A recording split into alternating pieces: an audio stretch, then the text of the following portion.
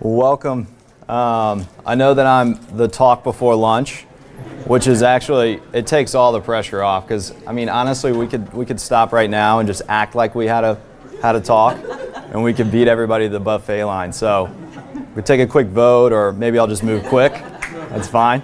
So well, good. Well, um, yeah, we're going to talk about best practices for outsourcing. So this is a great crowd, and if you guys don't mind, I want to fire off a few just kind of rapid fire questions to understand kind of context, who I'm talking to.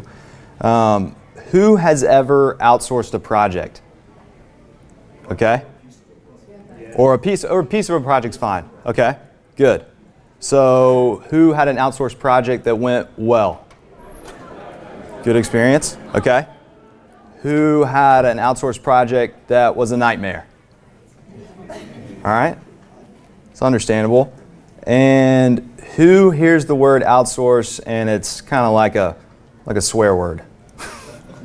okay, that's fine. Please don't leave because you. I am back here in here in an accident. I'm just too lazy to Okay, okay. You'll make it more fun, anyways. So that's good. We'll do a little mini debate or something. That'd be fun. Well, good. Well, that's perfect context. I think we'll have uh, a lot, a lot to talk about, some good value to add. Hopefully, that you'll take away some solid stuff. So we'll start pretty, pretty high level. So if you, I know everybody, this is second day of the conference, using your brain a lot. You can kind of check out a little bit for this one. This will be pretty high level business context, um, and we'll talk about the types of outsourcing. We'll go through that a little bit. Um, how to find the right outsource partner. So I definitely want to cover that as well. And then we'll talk about um, really what, what the core of the talk is, and it's um, best practices for how to outsource well um, once, you, once you decide to take that plunge. Let's see. There we go. So, my context, I work for a company called IT Hands, and the company's been around since 2001. And um, I've heard this a couple times the last couple days. I'm okay with it, but 2001 I was in elementary school, so um, you know I, I don't know. I guess it's not offensive to ask somebody how old they are when they look like they're 15, but um, so 2001 I was not with IT Hands, um, but 17 years in this business is um, a long time. So we've seen a lot. We've seen a lot of industry change. Um, and that's really where we've gathered a lot of the expert knowledge that we have around the idea of outsourcing.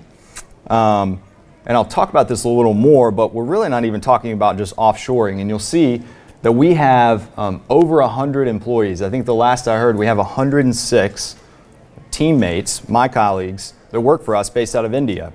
And the story behind that was we had two American guys that moved to India in 2001 to start our team and they still live there and manage our team. And there's five total Americans and their families that live there full time now. So I'm based in Atlanta, travel often to India, um, travel all over the states, and then we have one other full time um, salesperson, which, which is what I am, out of uh, Denver as well. And really, what we do is we're an outsourced partner for agencies and for web companies. So, um, you know, just like I started the conversation with, you know, who's had a bad experience, who's had a good experience. Usually every conversation I have with an owner starts there. It's like a therapy session, you know? They're like getting it off their chest. They're like, look, I just want you to know I get 100 emails from people like you a day, and I've had 10 projects that have been totally derailed. And I mean, I get it. I've just heard it enough now, and I see where it could be possible. Hence why I think there's some solid best practices that can make it a little easier. So, this is a picture of our team. Um, this was from January when I was there. So I'm down there on the bottom right. If you could see, we're kind of all scattered in. This is most of our team at a development day that we do really monthly. Um, obviously, I'm not always there. Um, so yeah, just a great, great crew there, and um, they're based in North India, so north of Delhi. And then give you a little more of a visual. This is our office funny story. Um, the building that we just purchased, and we have two offices there, and one of the buildings that we purchased, um, the guy before us modeled it after the White House. So I don't have an I don't have an outside picture. I should have included one, but it looks like the White House of India. It's it's pretty pretty funny. And there's uh, when you're walking in there, and then the uh, obligatory ping pong table. Um, I thought I was pretty good you, you cannot call it ping pong there. It's table tennis. Thought I was pretty good at table tennis until I showed up at our office. And uh, it's pretty demoralizing. So let's get into more of the meat of the presentation and talk about um, really why we can outsource. So, Jocelyn, thanks for coming. Um, I don't know if you guys caught Jocelyn's talk yesterday. Um, she covered so much of why there would be a solid business case for outsourcing. Um, and really, the context of her talk was going from you know the freelance stage to really the agency stage. So we see that a lot. And actually, we work with a lot of freelancers. So one person shops that they're okay with being the size that they are. So, and they might even still call themselves an agency, but they're just one person shop, and really everything that they do is outsourcing out to a partner. Um, for today's talk, we're really going to be talking about development design, because I think that covers most of the people here. So, you can outsource anything. I mean, you can outsource virtual assistants, um, you can outsource financial services. Um, we're just set up for that now. Um, but for today's talk, we'll be talking about um, design and development and how we can do that really well.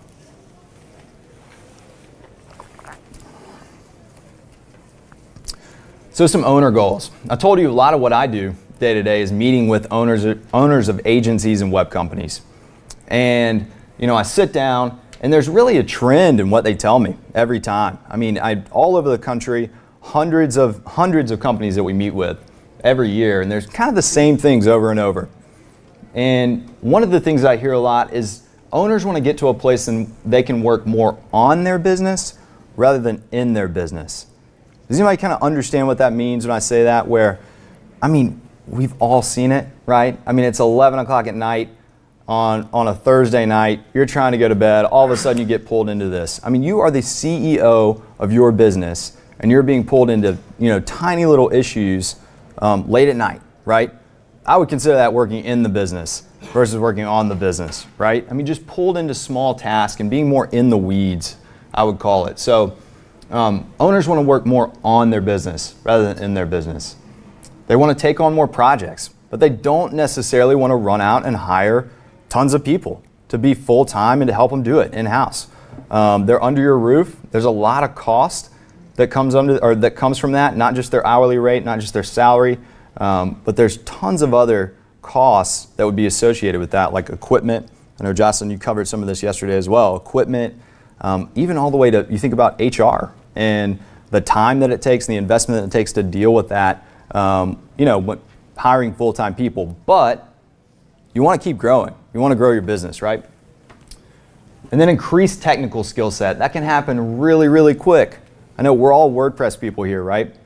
Um, but you get this, you know, dream project that um, is either a a little more complex in WordPress than you're used to dealing with, or it's in a totally different technology. You can immediately find a team. And then focus on your strengths. I love this. I mean, you go into your business, you're excited about doing it, and then you realize there's like maybe only like four or five things about running your own business that you actually love to do and that you thrive on. Not to mention from a total business perspective, where, or the whole business perspective, where your business has strengths. And then you try to do it all, and you immediately, those strengths start getting pulled all over the place, and you have to refocus and go back to your strengths and know what you do well. And then running a lean business model. I know this is, this is pretty trendy now, but I totally believe in it. Um, and just operating on lean, lean overhead. Take some pressure off. Any questions so far? Any thoughts? I know this is a lot of just lead in, setting, setting the stage. So let's talk about options for outsourcing. So for today, we're really just talking about two, and you guys have heard these terms onshore versus offshore. So, um, a few just options to throw out for, for onshore are platforms like Upwork and Codeable. Um, there's other ones, other ones as well, but those are the, the first two that I think of and the ones I hear most often in the industry. Familiar with those? Anybody? So this is essentially an online marketplace for developers, designers, um, I mean, pretty much anyone. And, it, um, and I'm, again, I'm speaking specifically for the development des- design space, but there's even outside the industry, if you need work done around your house, there's other platforms that are similar to this. Um, so Upwork and Codeable are ones that I hear quite often. Um, they have slightly different standards for vetting, and I know that this is changing often. So a lot of times what you'll see is a, a profile, right? So an initial profile with a rating. I'll show you a screenshot in just a second. Um, a profile with a rating, um, a history of the types of projects they've done and how well they've gone with reviews. Um, but I, from my understanding, Codeable has a slightly different vetting process that might be a little more in depth. Um, you know, most of their most of their developers that are on the on the platform are highly highly rated. Um, but I think there's a bit of a cost differential there. Anybody anybody speak to that? Yes, Okay. Well, Codeable's a little more expensive typically, right? And then local freelancers and contractors. I think this one is um, incredibly exciting, really the next two, specifically within the WordPress community. So you think about, you have a need, you want to outsource that need to somebody else. The first place you go to maybe is the WordPress community and somebody that you know from your meetup or somebody that you meet here at WordCamp. Um, and that could be a local freelancer or contractor, um, or it could be one agency to another agency there's just there's enough business to go around. We don't have to be so stingy. We do have to set high standards, but there's enough business to go around to partner with your competition in certain instances. And I've seen it time and time again. And I'll give you one example. Um, this, is, this is not necessarily um, development, well, it's, it's design related, it's not development related, but just a food for thought. So IT Hands, um, we actually went through a, a, kind of a rebranding, we're going through it now, a rebranding and a redesign of our, our website. So theoretically, we should totally be able to redesign our own website. We have design, I mean, that's right. I mean, um, but what happens, I'm sure everybody in this room can identify with this. The first thing that gets pushed down the list when anything client related comes up is your own website, right? What's the, what's the quote about the shoes and the cobbler? Yeah, yeah, that's right. And, yep, exactly. Yep, there you go. So that was what was going on with us, right? And it was never a priority, and it always got pushed down. And so we decided to make a little RFP and send it out to some of our clients who are agencies, are web companies. And so they did the branding, and the messaging, and then the redesign of the site. And so I say that to give you an example because here, here are the things that we learned. We learned a ton in the sales process, kind of being on the other side of that coin, just to send out an RFP, um, have some people come back and respond, look at somebody else's sales process, and we, we were amazed. So I think we sent it out to maybe six or seven of our clients. We got back two proposals, two. And then I think one of the proposals we actually had to follow up on. So, I mean, the project was there, it was teed up, it was ready. Um, but the agencies weren't. So that could have been they were swamped. That could have been, I don't know, they might just not wanted to do it. I don't know. But I don't, I don't think that's the case. I think it's just a reflection of, um, you know, workload and distraction. So yes, sir. practices, how do you avoid a situation like that? In, in what way? Not responding to a proposal that came, came in? How do you filter out the folks that are non-responsive? On the front end. Without wasting all the time of going through, giving them the RFP, trying to wrangle a bid out of them. Right. How do you use your best practices to avoid that? Yeah, well, I'll tell you, I mean, from our perspective, us being the client in that scenario, we didn't do much wrangling.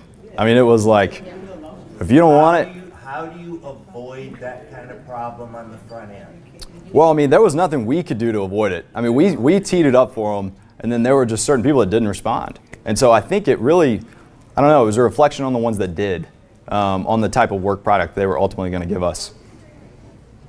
So, and it, and, and it was role reversal there, right? I mean, usually we're the one that is putting out the proposal. So it was role reversal for us. And so that's, honestly, I say that as a, as a learning opportunity. Um, so much so, and we learned a couple other things too, just about process, how we walk through proposals. Um, to outsource something, maybe once a year, doesn't have to be the biggest thing, but just something. To get to know the industry, to understand other people's sales process was very, very helpful for us. So I think we'll continue to do it. So let's go back. Um, so we talked about some onshore options, offshore options. Upwork and Codeable are also great platforms for this. Um, and then just cross-cultural teams. So there's teams all over the world in different structures um, that could absolutely be an outsourcing option for you. And I'll, I'll, talk about kind of the structure of those really quickly. So, um, you know, one structure could be that the team is 100% based in another country.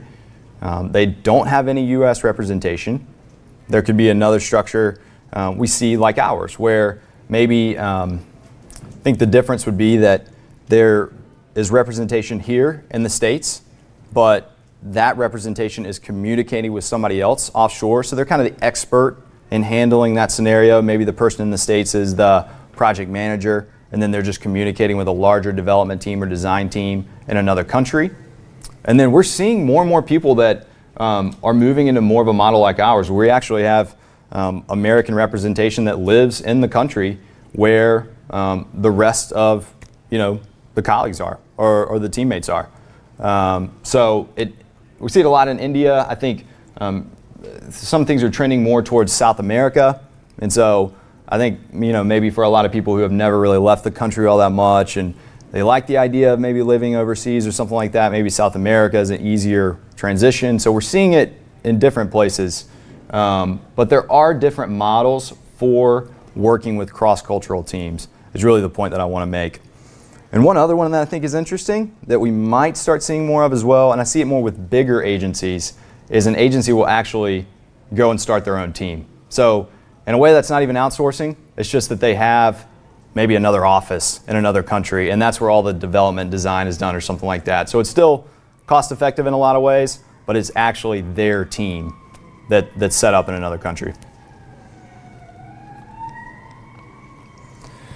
So why would you want to keep something onshore versus offshore? I promise, I'm, I'm pretty agnostic when it comes to this, right? I believe in the concept of outsourcing, um, but I'm not, I'm not necessarily pushing one way or the other on onshore. I'm pushing for what works for you, right? And so let's think about a couple reasons why it might be better to onshore. So, um, you know, the first thing, it's easier to meet in person. We live in a super tech heavy world. All of us love tech the first thing probably that we're going to think about when we need something now is we're going to go Google it. And we're going to find a platform like Upwork and Codeable. And that's like our inclination now. It's amazing. Um, but I would say a best practice is to still meet them in person. Don't lose the human element, you know, in a tech heavy world. It's, uh, I mean, you're essentially hiring somebody to be an extension of your team, which is the goal. So I think in most cases you'd want to meet anybody that was going to be full-time under your roof. You'd want to meet them in person. I'd say do the same thing with anybody that you're going to hire onshore, just because it's easier. Even if they're in another state, invest the money, travel to go see them, invest the money, you know, buy them a flight to come see you. Um, it's totally worth it. Build a personal relationship. So I know a lot of times we walk into these scenarios and we, we just need the work done. I get it. But ideally, you're not going to want to go out and find a new outsource partner every time you just need a project done. So build a relationship, get to know them. Again, treat them like an extension of your team. That's the goal. Maybe it's not the case in the first couple projects, but that's what you're working towards. Obviously, a same and similar time zone. I think a lot of the stress that I hear about and a lot of the, the you know, breakdown in communication, all that stuff, it just, it, it's just a grind for people to deal with a different time zone a lot of times. So for example, my my day to day, my day starts pretty early. I mean, if I wanted to get up at four o'clock in the morning and start talking to my team, three o'clock in the morning, it doesn't matter. They're up and they're available. I mean, it's getting it's getting to the afternoon in India at that time. So for us, all the communication with clients happens in the morning. If you're not a morning person, maybe not a good idea to, to work with an Asian team. And then one other that I think is interesting is the um, I added the word perception of greater control. So maybe one reason that you would choose to work onshore versus offshore is really having the feeling that if worst came to worst, you could hop on a flight, fly to Oklahoma and see your developer and, real, and, and figure out what's going on, right? And, and do that over the course of, you know, 24 hours. Not so easy to shoot over to India, uh, you know, from one day to the next. So there, there's a perception of greater control and understanding, I think, with onshore versus offshore. And I don't think we should shy away from that. I think it's fine if that's important. So I mentioned the screenshot about um, Upwork. For anybody who hasn't seen it, this is really what it looks like. It, I guess I should ask, Rodney or Scott? They're not, not in the room today? so I think we're safe. And if you know them, just tell them I talked really nicely about them. But um, yeah, so these, these are two onshore options for um, specific WordPress work.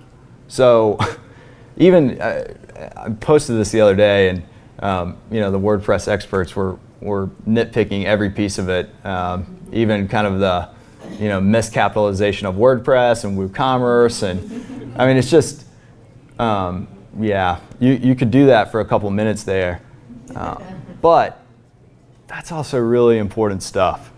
I, I'm kind of a high level guy, but I hang around with developers who are incredibly incredibly detail oriented and it's important, right? And so even if I was looking at something like this, I'd be like, man, uh, it's not quite as clean as I would expect if somebody's making their livelihood off of freelancing through Upwork. So I'd probably keep scrolling down the page or I'd look for another option. Also, you'll notice um, their hourly rate. So almost $70 an hour, $55 an hour, that's uh, probably pretty normal, I would think, across the country, based off what I see for onshore um, by the hour help. Um, so that'll give you, you know, a general idea of what that might cost.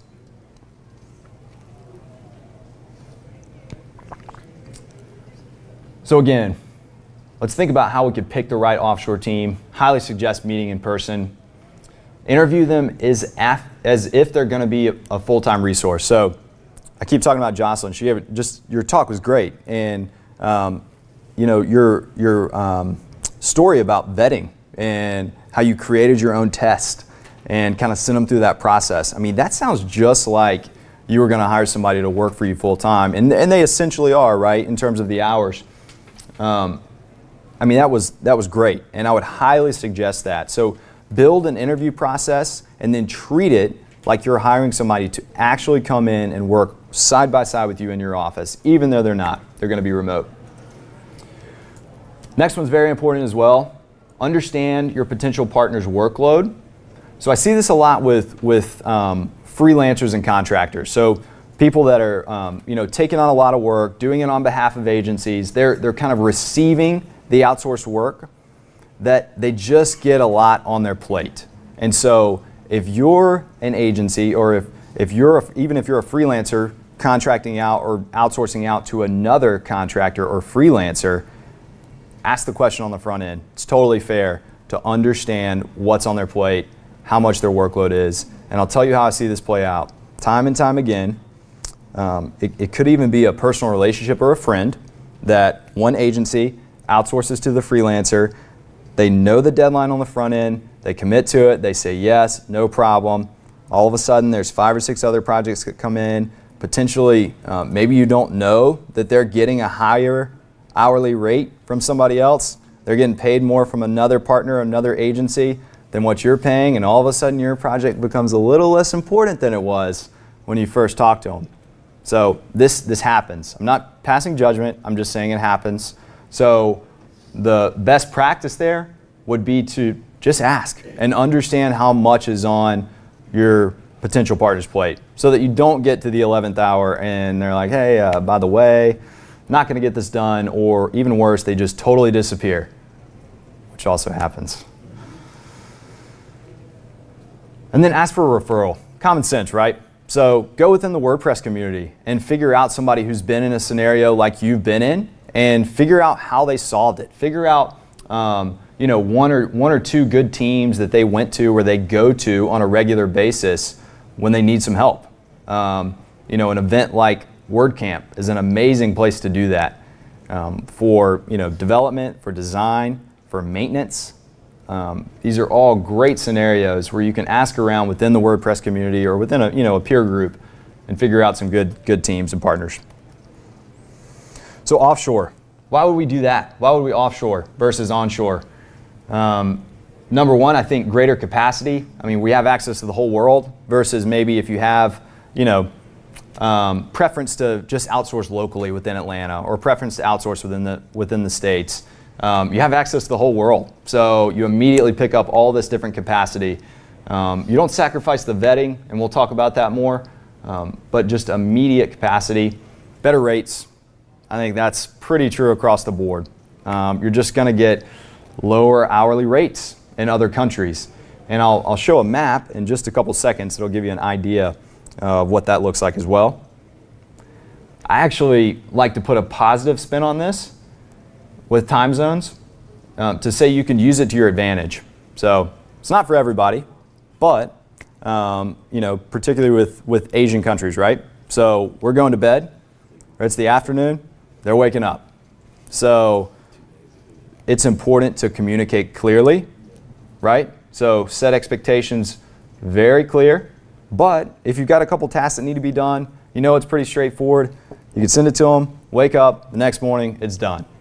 That's on every team, but I would say in a good relationship, that's great. I use that internally all the time. I mean, I'm constantly like, you know, I tell my wife, I'm gonna need to do one more thing, one more thing. She doesn't understand why that's so important. I'm like, I'm gonna wake up tomorrow and, and my team's gonna be back to me with whatever I, you know, needed or whatever I asked for. Um, and so it just works well. But there is a flow, there is a process, it takes time. I didn't learn that overnight. It just takes a little bit of time. So, um, but it's absolutely something you can use to your advantage. And this cross-cultural experience, I really appreciate this as well. Just getting to know another culture. I've, I've come to just love Indian culture. I had zero context of it before, before I joined IT Hands, zero. Um, and I've come to love Indian culture, and I've had the opportunity to experience lots of other cultures in that process as well. So, like I said, it's not always easy to get to India. So, I usually make it a point to stop over somewhere else and check it out there too. Um, so, it's uh, just it, really a, a, solid experience um, if, if that's what you're looking for and if that's important to you. So picking the right offshore team, once again, ask within your network, common sense, don't skip it though, it's important. Find somebody that's had a good experience. Find a process-driven team. I love this. And I've seen it be incredibly, incredibly crucial to the success of projects. So if you're vetting teams and going, you know, going through that whole process and you're the one that's driving that process, your team's not driving it at all, that's a, that's a red flag. So you want to find a team that's process driven because that's going to keep things moving, you know, moving um, well. And then choose a time zone and a rate that fits. What I would encourage is don't go into a situation based on price, but you're ultimately bitter about the minor inconveniences or major inconveniences that you're having to face because of you know the lower cost. Just don't do it. Maybe maybe there's another option out there that would fit you. Um, like I said, if you're a morning person, um, you're going to have to adjust a little bit to working with an Asian team that is structured like ours, right? Where we, we really don't work American hours. We work adjusted hours, but they're not American hours. And so um, our clients have to be okay with, with meeting in the mornings. And we really have a tough time working with clients on the West Coast because there's like an hour that we have with them. And so um, take all that into account when you're picking a team. And then travel. I wouldn't encourage to do this on the front end, maybe. Uh, I'd get a couple, maybe a couple projects under your belt. And, uh, but say, for example, you do find a team that you've sent a couple projects to, it's going well, go on a little, uh, go on a little work trip and go see them. Yes, sir.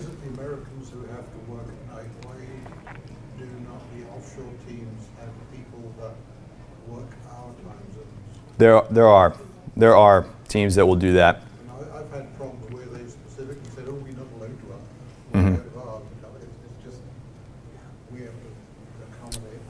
Sure. Yeah. I mean, so so our our take on that um, it's, it's just really important for us to treat our employees really well that live there. Not saying that any employees that are working a night shift, they're treated poorly, but for us, we have to draw a line in the sand is we really want our team to go home and spend time with their family.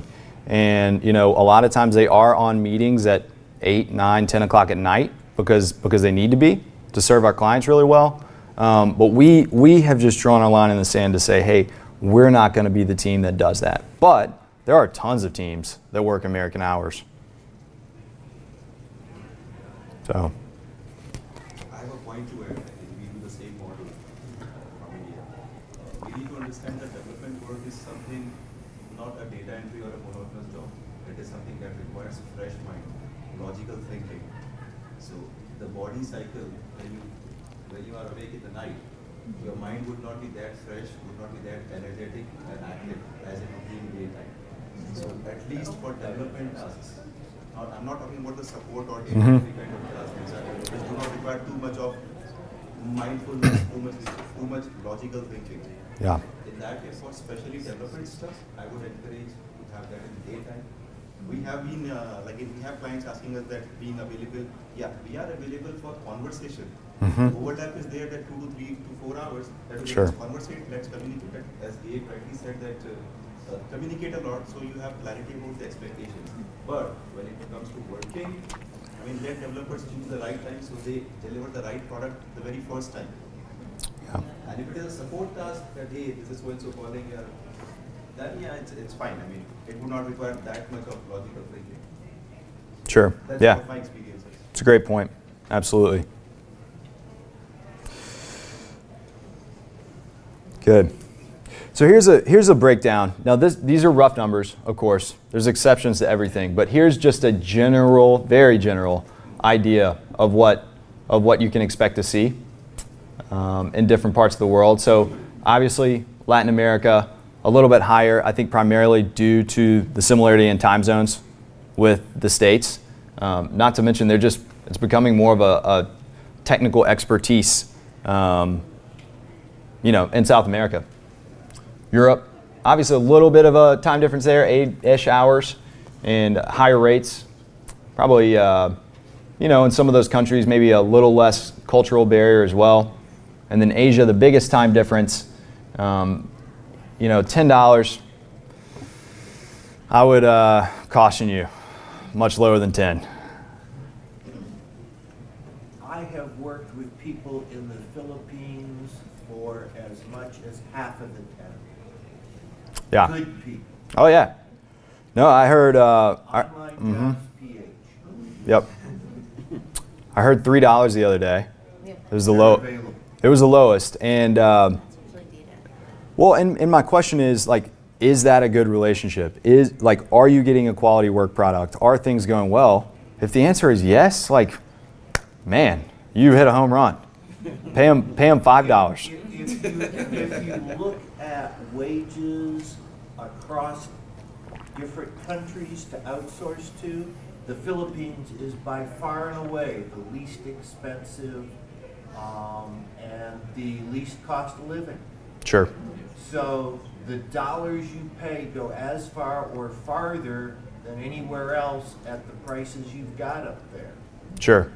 Yeah, yeah, of course. I mean, you know, mention the caveat. There's absolutely exceptions. These aren't these aren't hard and fast numbers. These are just to give a general idea. Um, obviously, you can pay less than 10, and I would I would caution you with any outsource scenario to go through the proper vetting process. Which let's let's get to it. Let's not uh, let's not get too um, too close to time before we get to those uh, best practices. But I wanted to share this one one quote here that I heard from an agency the other day. It's a, a local agency, Atlanta agency, somebody I know pretty well, and I was just brainstorming with him, asking him some questions and picking his brain. And this was his quote: "I couldn't care less where the location is. Um, this is in terms of getting getting something done. I care about speed, accuracy, communication, and attention to detail."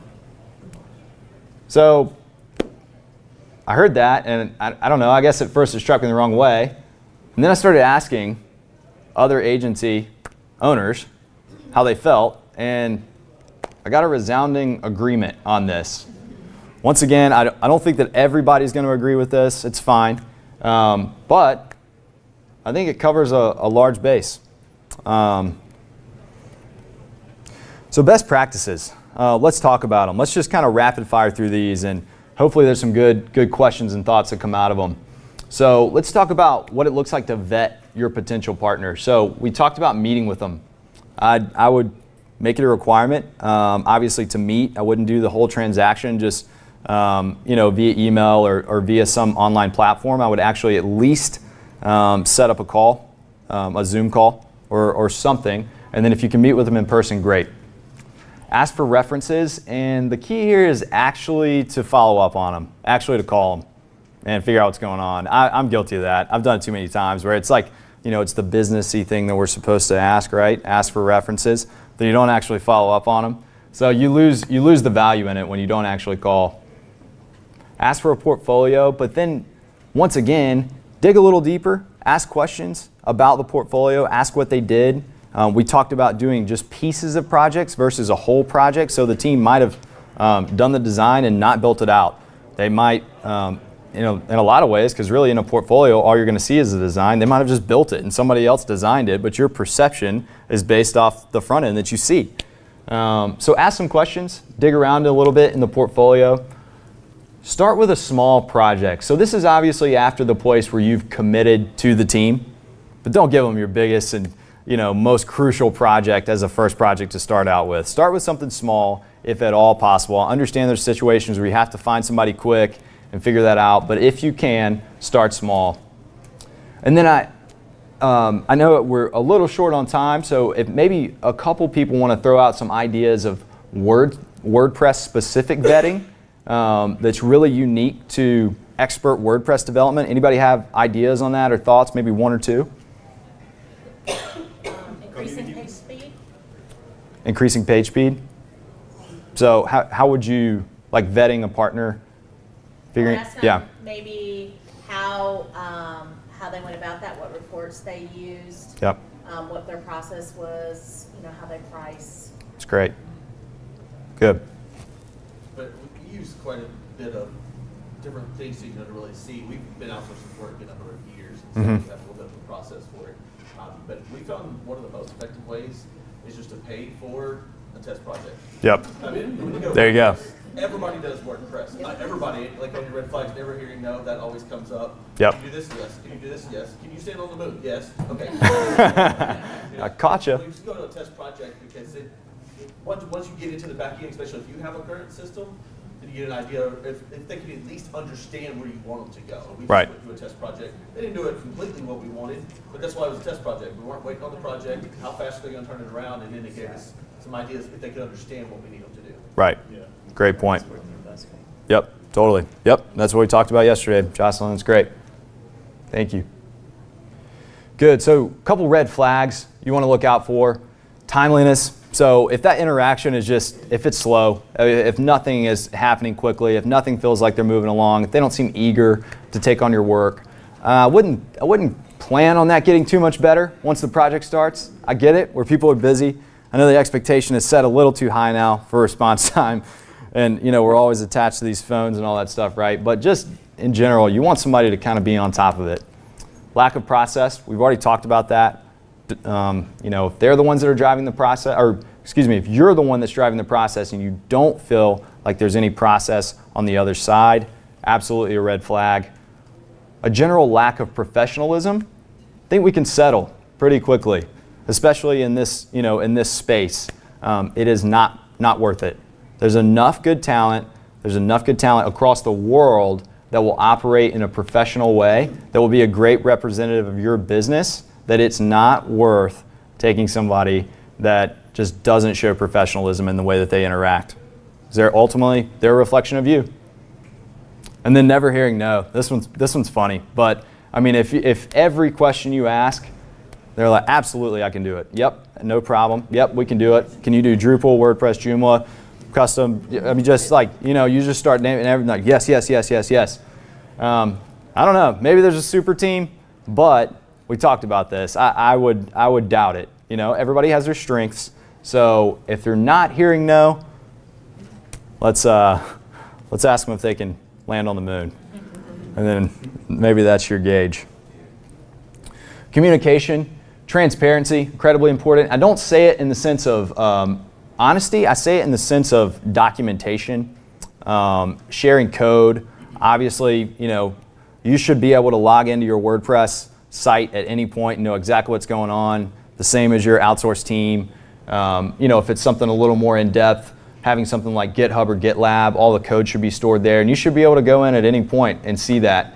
Um, another thing is obviously the timesheet. So if you choose to use a software, um, you know, a time tracking software or just a timesheet, that should be um, up to date at least at least for the week. I mean, a lot of times our, our standard is updating that once a week, but if your expectation is for that to be updated once a day, um, that's fine. Just set the expectation. Uh, but don't be frustrated later on in the project when the team is not doing that every single day and you never told them to. Uh, that's something you kind of need to set on the front end before the project starts. Having weekly meetings, this has been a, a great best practice for us, and I think it shocks agencies a lot of times where we're the one that's driving that, and we actually consider it a requirement that it's not the agency being our client in that process that's setting the requirement, but um, make sure that you have weekly meetings with your outsource partner, and they should be able to answer three questions every single time for you. It's what they did last week on the project, what they're doing right now, and what the plan is for next week. So if that's all you cover and nothing else in a weekly meeting, you're going to be on the same page for the most part. There shouldn't be any major questions, at least. And then obviously building in room for other more specific questions in that process. And then communication tools. I, the important thing about this is that the communication tools are defined on the front end of the project. So don't try to figure this out as you go along. Have an hour long startup meeting. This is what we do. Have an hour long startup meeting before the project starts and define all the communication tools that you're going to use. Define when you're going to meet weekly. Just make sure all that is documented prior to the project start. Our preference for communication within projects is, you know, the project management system seems to be the best way. Um, and there's, there's tons of them out there. Um, we use a lot of them, and I don't, I don't necessarily even know that we have a favorite, but um, I think our preference is to use something. And then if there's just nothing and your client doesn't want to do it, you don't want to do it, um, just create some really solid Google Docs to help guide you through the process. And then build relationships. So plan some get to know you meetings. These are tough. They're going to fall easily off the priority list, but I'm saying, you know, make it a priority. Um, if you've got a team that you're working with in India, plan 30 minutes and just ask them about, you know, an awesome Indian holiday. Ask them about Holi. Ask them about Diwali. You know, something you don't know anything about, but they would love to tell you about it. And you're ultimately going to have fun doing it. Um, and you're just going to get to know them a little bit better. But I would say even for, for onshore as well, if you can get together for drinks, if you can get together for lunch, um, do it. Consider them to be an extension of your team and work towards a trusting relationship. So I know we all go into these scenarios with our guard up, as we probably should, but let's keep it as a goal that we're working to build trust on both sides and we're working to a place where they can truly be an extension of you. And then back to offshore, it's pretty exciting to learn about these other cultures and it will be incredibly helpful for you in projects to know about other cultures, particularly, um, you know, obviously my context is India. There's tons of holidays in India. So it's, you know, how that affects your business is maybe it wasn't communicated to you that the team's going to be out for three days in the middle of October. You're like, what is going on? But you realize all of India is basically shut down for three days in the middle of October. Um, you know, if you knew a little bit more about the culture. So I think that's really helpful. Question? Okay, so I'd like to know, I've been working, I love Upwork, this is fantastic. And so I have developed a relationship with specifically three that are my go-to people that I send, you know, work to them. I'm not a designer, but I know web content and Mhm. I think graphics work. And I have a person that does, um, like, hand WordPress. Yeah. But um, how do you transition, or is there a line or transition where you officially offer them to be a part of your agency or to come on board? Is there something, is there a shift or something specific that needs to happen? Or is it that I just continue to use them and there's no difference? Yeah, I mean, um, I don't think there's any. I've seen I've seen lots of different scenarios. I think it's usually just a, a consistency about using the person. I think maybe the thing that could be a formal change is the way that you structure payment. or structure the amount of hours that you know you're using them for. Like we'll we'll have an example where or a scenario where we'll do more of like a full-time equivalent type type scenario where you know the team that's assigned on a project is a little more readily available versus if it was just like you know here's a project two months later here's another project. We can't guarantee that readiness but i don't other than that other than kind of the way you structure the deal formally i don't know that there's any particular line Do you let them, do you, um, ask your, um, help to sign a a proprietary or anything, um, delete a form to show that they're not, you know, gonna sell your stuff to somebody? I mean, I don't know how much weight that would carry. yeah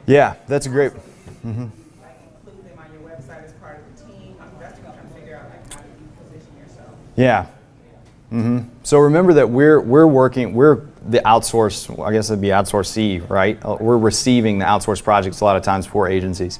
Um, we we actually don't let um, any agency that we work for put us on their site. So And vice versa. Right. So like if you like if you were hiring someone to do a project, at what point would you put them on your site? Um, we we don't see it very often. I'm not sure that I would encourage it, but I, I do see it some where maybe you've got one person that um, it's kind of your go-to freelance partner, and maybe they have their own freelance business, but you really do consider them to be a part of your team. Maybe that's a scenario, but like our team, we actually we actually won't won't do that. hmm Just to piggyback off of what you said, I've hired people before, and when it's a, s- a situation where I've like needed content for something, I do have them sign a non-disclosure agreement. Um, I've had instances where they did it and it didn't work out, we didn't work together. And then I've also, uh, set it up as well to where, um, for some writers, I would own the content, and then for some writers who wanted, you know, that visibility, I actually gave them a buy. Great point. And I, I, of course, I'm not gonna I'm not gonna give you legal advice here, right? But legal either. right, right, right, yeah, sure, sure, sure, sure. But I would say um, just to give you um, idea of, of how we handle those scenarios, NDA, every every single time. Um, um, Started off doing that, but then I'm like, well, what legal recourse do I have if I'm working with someone in Russia or India? or- yeah, it gets tough. There's a podcast right now that NPR just put out about this. Yeah, it gets tough, right? But I, I think it's still a good hoop to jump through. Um, master services agreement. So these are probably documents that you're putting in place with your end client, anyways. But um, I would do another one with your outsource partner, and then a um, we call it a work statement. So it's it's really um, kind of it's almost a loose a loose um, scope a- agreement. So there's, you know, obviously a lot of scope you don't know until you're like into the weeds on the project, but at least a loose idea of functionality and scope that, that we would have signed as well. Great questions. I have a quick question. Sure. This has to do with who are onshore as offshore. Right. There are a lot of US regulations about who's an employee versus not. Mm-hmm. So how do you propose dealing with that? Because it could matter. Yeah.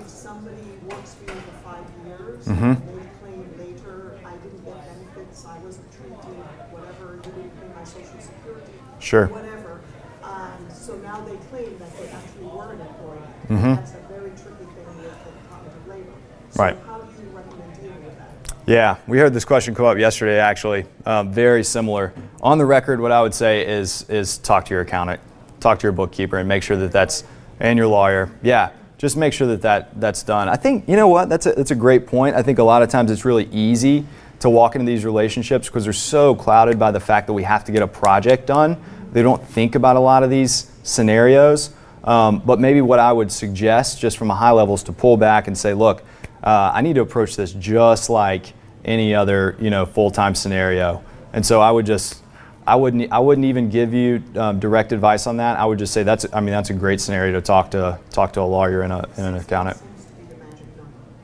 If they've been with you doing consistent projects like an employee would, longer than six months, I mean, if it's six months in one day, it's not an issue. But if it's six years, it could be an issue. Sure. Do you have another question? Sure. Yeah, it's whether it's, it's whether it's usually how you, how much, like my understanding again, we probably need a lawyer to talk, we'd all benefit from a lawyer talk, school. Sure. Probably here. um, having to do with the sort of, uh, how you interact with them, what you, you can't say like, control, you will work here in this place. It's typically has If you're to directing, how you're there are like them. five criteria, Yeah. and I think one of them is directives and the work ethic. It- It's important to be careful. Yeah, it's, it's, it's a, an area to be careful about. Just like a, a tax thing, like it, it depends on how long, you know, like if you give them hours and certain things, but if they're if it's an independent contractor, it's just a six-year-long independent contractor. There's Mhm. really nothing that you can Sure. that they can do. They have their own EIN or tax ID number, of which they file the income they made from you. So you really wouldn't have uh, they wouldn't have recourse to say, um, "I've been working for you, you owe me benefits." Sure. Right. Question? Um, what's the best way to pay people who are in India or wherever, and uh, that are only like, you throw them ten hours one month and even then, like, just sort of project-y? Yeah. So so um, the way we do it is a time and materials basis. So we drive, you know, the billable hours, log that for our clients, and then we actually send an invoice just through QuickBooks. Um, But I mean, like, actually pay them, like, how do you, like, is it, because I think you said PayPal yesterday, like, is, is, how do you get the money there? Yeah, so our, ours would be through QuickBooks. So there's, I mean, you can obviously do like, you know, ACH, you can do credit card, you can do any of that stuff. I would, I would recommend obviously just a secure online platform. I guess, That's what they prefer usually. right, yeah, To sure. Most of the Philippines request that you use PayPal. Yeah, I Yeah. so. Um, That's what I use. Right. I was just going to comment about his question very early on about the um, the RFP and just share an agency's perspective. Typically, agencies, and as you move into being more successful, we tend to ignore RFPs because we tend to sort of be like, look, if I'm one of 20, I, I don't have time for that. Sure. So my recommendation as another? Oh, another way um, a company would respond to it would be instead, instead of sending it to your seven customers, I would instead encourage you to say, okay, I'm gonna research. Like if you're looking for that top agency, Mhm. I, it's kind of like the, you know, the, the who's the prize may have shifted a little bit. Right. And instead uh, directly approach those top three agencies and seek out, probably would have gotten a better response from Yeah. the ones you wanted to work with. Sure. Because most of us tend to ignore RFPs. Yeah. So just, Yeah. Flip side. Well, yeah, no, who's desperate for work is more to be like, ooh. That's right. Opportunity, Opportunity. Yeah, yeah. And, and you know, RFP, that, that covers a broad spectrum, right? Like a Right. government RFP looks, Actual term, you know. sure. Yeah, yeah, yeah. That's just how you approach it. And I don't know how you actually did it, but I know that's what that word triggered in my head. Yeah, absolutely. Yeah, RFP, I immediately think 50 pages of documents that I need to come through that I'm not going to win it. I've got like a, you know, 1% chance, you know? So, It actually has yeah. do with the RFP. All the Yeah. rest of it's about your subcontractors and everything else. That's right. Yeah. Here's everything else you don't need. Yes. Great point. I will say, and you can probably tell this just from me standing in front of you, that ours did not look like that. So, um, But you were saying how it was ignored, so if potentially Yeah. that was the delivery of those word, three word letters Yep. from the subject. that could have been it. Yeah. could've been that word. I don't know. Actually, that's a good point. I'm not even sure at this point. So, really quick, I know it is lunchtime. You guys are ready to go. Um, two, two books that are really interesting and helpful. Um, the Culture Map, it's a fairly new book, and it talks about how to communicate cross culturally, not just Americans to other countries in the world, um, but other countries in the world between other countries in the world. It is fascinating. So, I would highly recommend that um, if you're at all considering working offshore or have worked offshore, and if you're considering working particularly with India. Um, this book, speaking of India, is incredibly helpful, and it was actually written from a context of IT. So um, when we started to see a lot of work, um, you know, being moved to India and um, the expertise of India growing and growing, and um, it, this became a major, major, major issue for people all over the world on how to communicate really well um, in an Indian context, and then vice versa. So, um, two great books here. I would highly recommend them. And just in closing, so another just couple things to take away. Um, do have proper documentation. We talked about NDAs. We talked about um, work statements or proposals. Everybody has different terms for that. We talked about master services agreements, all the way to um, documentation in code, documentation in um, project plan. So you can't over document. Obviously, you want that to be shared amongst everybody involved, so you and your outsource partners. Um, strong and respectful vetting. Um, I think that's important to, you know, uh, give them a little bit of the benefit of the doubt, but you know, make sure that it's strong and um, you know it's getting the job done there. And then start with a low impact project, one that's not going to, you know, change the course of your business, even pay for, you know, a test project. I'd say it's a worthwhile investment. Um, don't throw all your eggs into one team's basket. So I would say if you are going down the outsourcing road and you're investing a lot of your projects into this, um, have a couple teams lined up, have a couple potential resources that you could go to. Even a team with 100 people, we run low on capacity at times. It happens, um, and we have to say no to projects. Um, so, you know, have a couple teams in line so that you don't have to run out and vet them right at the last minute when you need to get a project done. And then don't give up after the first couple difficulties. Um, when you're dealing onshore, offshore, it doesn't matter. It just takes a little bit to get to know somebody. Um, I would say if it, you know, you see a trend of, of negative experience, that maybe is a sign that you should try another team. Um, but you know, if you have one or two little hiccups in communication or process or something like that, let's you know pump the brakes, give it a chance, um, have some good dialogue about that, and then see if we can make it better. So, anybody have any any further questions? Sure. Uh, just a comment. Um, my experience in dealing with offshore teams and outsourcing, it also depends on the kind of project. Like if I, I had a plugin I wanted to develop, something specific I wanted. Right. I got one freelancer to do it, and he ended up moving from Pakistan to Australia. Then he's like, I'm on vacation for a month. But then I chose another team that had a project manager. Mm-hmm. And this project manager would manage the whole process of, of, of the, the plug-in and the development, Mhm. but also, you know, you want to make sure you can get support Right. afterwards because the plug-in actually broke after Mm. some updates. Yep. And I tried to re-engage the original guy, but that's when I found, oh, I'm, I'm not available. I'm, you know, and it's broken. So Sure. When I went to his other team, you know, developers don't like to work on other developers Yeah. stuff, right? Mhm. So it was real difficult to get it transitioned to another team. But then team with the project manager actually communicated with me. We talked, and he got his team engaged. Right. And they documented everything. He said, "Look, we're spinning up a project for this. We're going to always have it here. Right. And we're going to have all the documentation.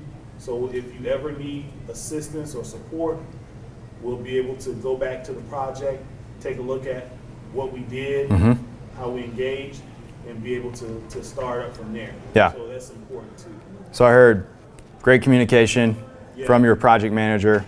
Yeah. I heard solid documentation. That's right. Um, yeah, absolutely. And then just somebody that'll be around.